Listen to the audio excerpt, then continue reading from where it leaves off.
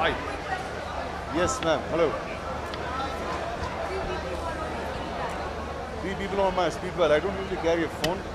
Uh, so it would be my dad, my mom, and my wife. So. We make movies anyways. I love to be in mine, so I don't have a. Yeah, you have another question? Shoot fast.